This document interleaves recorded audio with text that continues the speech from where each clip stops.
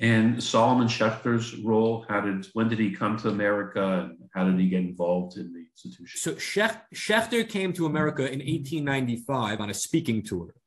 At the time, he was a he was a reader of rabbinics at Cambridge. Uh, Schechter was born in 1847 in Romania, was uh, studied in, in, Vienna under Jellinek, and uh, never actually got a PhD, I don't think, um, but was a, a, a, renowned scholar, famous for the, for the Cairo Geniza in 1897. And there had been talk in America among the, the moderate crowd as early as the mid 1890s to bring Schechter to America to have him head the seminary. But for whatever reason, it didn't work out until 1902 when Cyrus Adler, who was the key figure behind the reorganization of the seminary, Cyrus Adler was not the money man. Cyrus Adler was the intellectual slash organizational man he um, would go on to become the president of the seminary after Schechter, was the president of the Dropsie College, was a major figure in organizational life. He saw Schechter as the solution to the problem.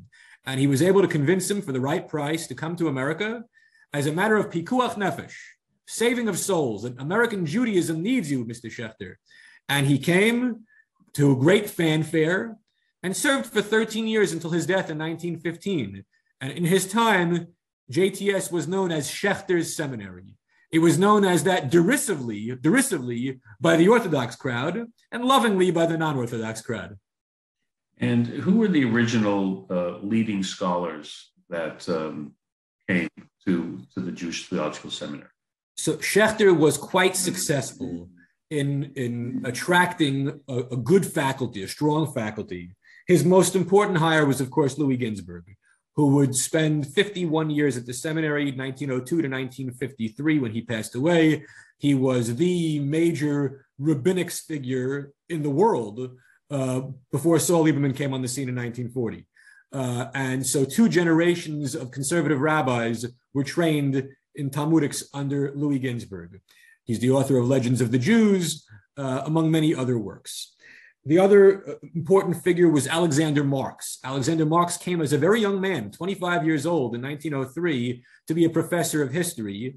Marx uh, was, an, was a devout Orthodox Jew. His father-in-law was Rabbi David Zvi Hoffman, the, uh, the great posek of German uh, modern Orthodoxy. No relation to me, although I wish there was, because he's one of my heroes. Um, and Marx was for 50 years, also passed away in 1953, a professor of history and the librarian his great contribution was he built the JTS library, the greatest Judaica library in the world in its time. Uh, also was Israel Friedlander, professor of Bible, who was uh, tragically killed in 1920 during the Russian Civil War by uh, Ukrainian anti Semites. Um, and he was a very popular figure because he he appealed to the young students. He himself was a fairly young man and was interested in transforming American Judaism and making a modern traditional Judaism in America. Also was Israel Davidson, a professor of, of uh, medieval literature, uh, literature, and importantly, Rabbi Moses Hyamson, who was the rabbi of Orach Chaim on 95th Street, a basic New York Orthodox rabbi, was the professor of halacha, of codes at JTS. And he was a dayan, he was a rabbinical court judge. So it gave uh, sort of bona fides to the, the halachic learning of the students of that time because Hyamson was their Rebbe in, in halacha.